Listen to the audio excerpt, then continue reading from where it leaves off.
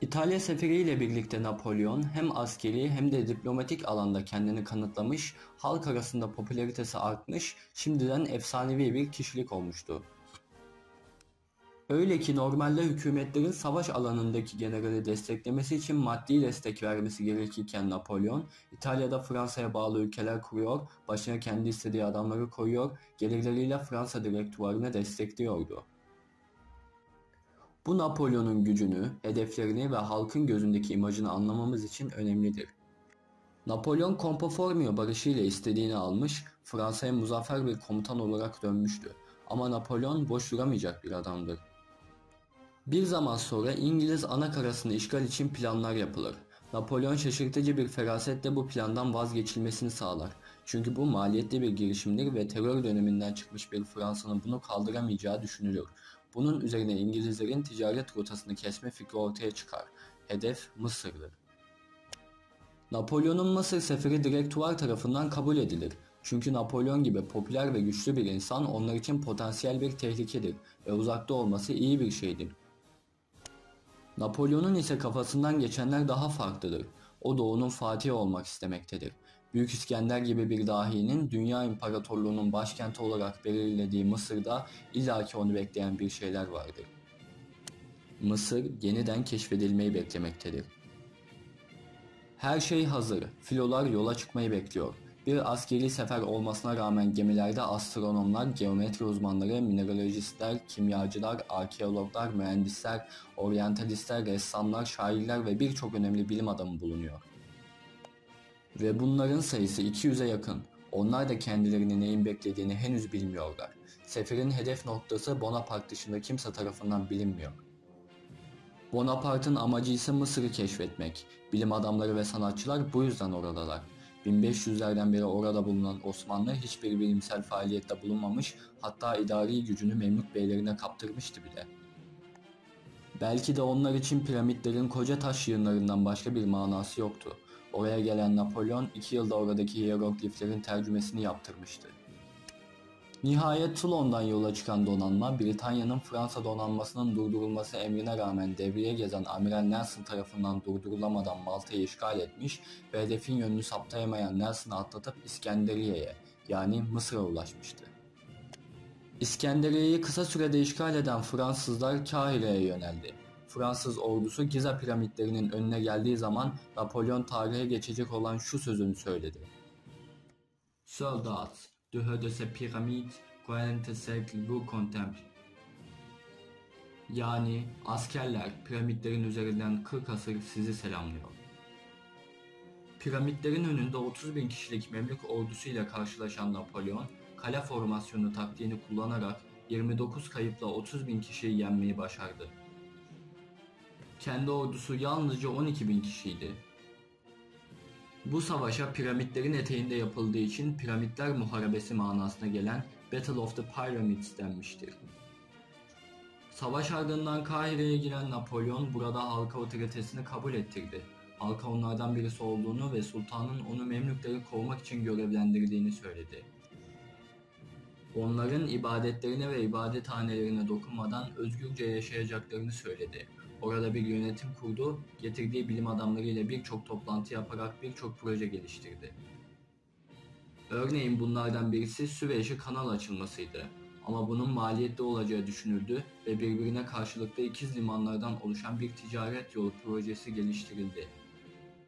Bu sayede Akdeniz ticareti tekrar canlanacak ve İngilizlerin ticaret yolu kesilecekti. Aynı zamanda birçok bilimsel araştırma yapıldı çöllerin kumları arasında kaybolmuş akbaba fosilleri incelendi. Evrim teorisi üzerine tartışılan akbaba fosilleri Mısır'dan Avrupa'ya götürüldü. Piramitler araştırıldı, Rosetta taşı bulundu, hieroglifler çevrildi. Bu bilim adamları antik Mısır üzerine pek çok araştırma yaptı ve gördüklerini yazdılar. Bu yazılar toplanarak 1829 yılında Description de l'Egypte ismiyle yayınlandı. Bu eserin önemi Mısır bilim olarak bilinen İciptolojiyi başlatmasıdır. Mısır'dan Avrupa'ya getirilen eserler pek çok bilimsel araştırmada kullanıldı ve bu modern bilimin gelişmesine katkı sağladı. Ayrıca Avrupa'dan getirilen pek çok şair ve ressam Mısır eserlerine konu ettiler Yaptıkları tablolar şu anda Louvre gibi müzelerde sergilenmekte. Buna da askeri seferi sanatçılar aracılığıyla tescil ettirmek denir. Hem Napolyon'a popülarite sağlıyor hem de sanata katkı sağlıyor. Dahice. Peki bir noktaya değinmek istiyorum. Bu değineceğim noktanın daha önce tarihçiler tarafından tartışılmaması gariptir. Bütün bu faaliyetleri 300 küsur yıldan beri orayı kontrol eden Osmanlılar tarafından değil de orada 2 yıl kalan Fransızların yapması bir utanç kaynağı değil midir? Bizim tarih kitaplarında bunlardan bahsedilmez. Mısır seferi hakkında anlatılan Napolyon'un Mısır'a çıkartma yaptığı, oradan Suriye'ye kadar ilerlediği ama Osmanlı tokadı yediği gibi bir şeyden ibarettir. Ama gerçeğin bununla uzaktan yakından alakası yoktur. Oralara geleceğiz. Bu sırada Nelson tekrar ortaya çıkmış ve Abu Kır'da mükemmel bir manevra ile Fransız donanmasını kullanılmaz hale getirmişti. Mısır'da kapana kısılan Napolyon istediği askeri ve lojistik desteği alamadığı için pozisyonunu kaybetmemek için Suriye'ye doğru yola çıktı. Zaten Napolyon'un en büyük yeteneklerinden birisi planlarını değişen koşullara göre adapte edebilmesidir. Başarılı bir şekilde Akka'ya kadar geldi. Şimdi burası çok önemlidir. Bu yazıyı okuyan herkes şu an milliyetçi damarları kabarmış bir şekilde Cezar Paşa'nın Napolyon'u yendiğinden bahsetmemi bekliyor. Ama hayır, gerçek bu değil. Bekleyin. Cezzar Ahmet Paşa aslında Osmanlı'nın kurtulmak istediği adamlardan birisidir ve 90 küsur yaşında olduğu söylenir. Yaşı hakkında tartışmalar mevcuttur. Kimine göre 70 yaşlarında bir kişidir. Önemli olan husus şudur ki Fransızların Mısır'da bulunmasından rahatsız olan İngilizler Osmanlı ile konjonktürel bir ittifak içine girmiştir ve Akka'yı savunmaktadır. İngiliz silahlarıyla donanmış olan 8500 kişilik Nizami Cedid ordusu kaleye girmiştir ve kale İngiliz savunma silahlarıyla donatılarak denizde Amiral Nelson gibi yetenekli bir amiralin donanması ile desteklenmektedir.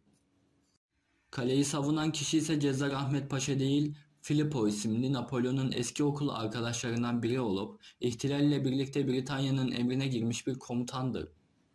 Zaten 90 küsur yaşında olan bir adamın bizzat sıcak çatışma içinde kaleyi savunduğuna inanmak safi ve boş milliyetçilikten ibarettir sanırım. Napolyon üç kez saldırı girişiminde bulunmuş fakat İngilizlerin o an o konjonktürde yenilemeyeceğini düşünen Napolyon yıpranmış ordusunu görerek geri çekilmeyi emretmiştir. Sıkıntılı bir geri çekilmenin ardından Kahire'ye geri döndü. Buradayken Türk ordusu Mısır'daki Fransız varlığını tamamen silmek için gelir ve bu orduyu Napolyon Abukır'da Türk ordusunu kendisinin iki katı olmasına rağmen ağır bir yenilgiye uğratır. Bu zaferden sonra Joachim Murat Napolyon'a "General, siz dünya kadar büyüksünüz ama dünya sizin için çok küçük." demiştir. Bu sıralarda bir Memlük Napolyon'un emrine girmiş, Napolyon bu adamı kılıç ve kabza ile ödüllendirmiş, Rüstem isimli bu adam 15 yıl boyunca Napolyon'un yanında olmuştur. Artık doğuda kalmanın kendisine pek fayda sağlamadığını ve Avrupa'nın ona ihtiyaç duyduğunu düşündü. Yenilmeye yakın bir Fransa'da İtalya ve Mısır'ın kahramanı sıfatıyla tekrar umut olarak ortaya çıkacak ve halkın desteğini alarak hayallerine bir adım daha yaklaşacaktı. Bu düşüncelerle Mısır'ın komutasını Kleber'e bıraktı ve Avrupa'ya doğru yola çıktı. Zorlu bir yolculuktan sonra Toulon'a çıktı, halka Türk ordusunun Abukır'da yenilgiye uğratıldığını ve Fransız hakimiyetinin Mısır'da sağlamlaştığını söyledi. Muzaffer bir komutan olarak halkın desteğini kazandı. Hatta önemli bir milletvekilinin Napolyon'u gördükten sonra sevinçten kalp krizi geçirdiği ve öldüğü yazılır. Komutan bu şekilde Paris'e geldi ve önünde daha büyük maceralar onu bekliyordu.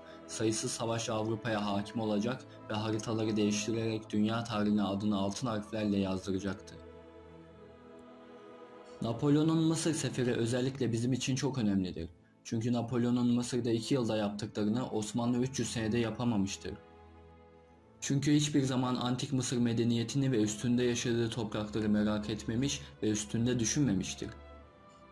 Bu durum hala devam etmekle birlikte Türkiye'nin gelişmesine engel olmaktadır. Tarihten ders çıkarmak yerine bu utancın üstü kapatılmaya çalışılarak hata üstüne hata yapılmaya devam edilmektedir. Ama biz öyle yapmayıp objektif tarih yazarak hatalarımızdan ders çıkaracağız ve düşünen insanlar olarak bu ülkeyi güzel yerlere getireceğiz.